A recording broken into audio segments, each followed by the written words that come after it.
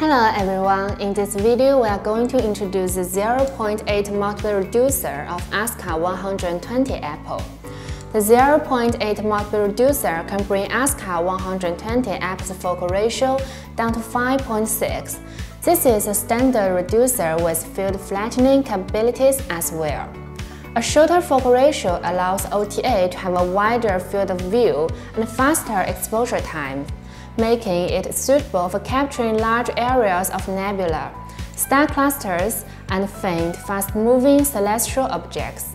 The 0.8 multiple reducer adopts triplet design and supports a 44mm full-frame image circle. The front thread is M84. At camera end, we have equipped three sizes of adapter, M68, M54, and M48 for easy subsequent connection and use. At the same time, the built-in M48 2-inch filter thread can be used to install filters directly. To use it, screw off the 120 APO's visual adapter. Screw down the lens tab of the 0.8 multiple reducer.